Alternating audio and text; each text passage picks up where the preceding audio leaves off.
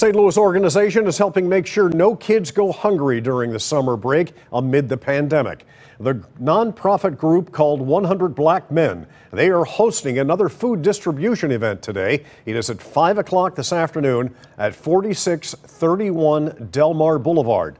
Each package will contain breakfast, lunch, and a snack for the whole week.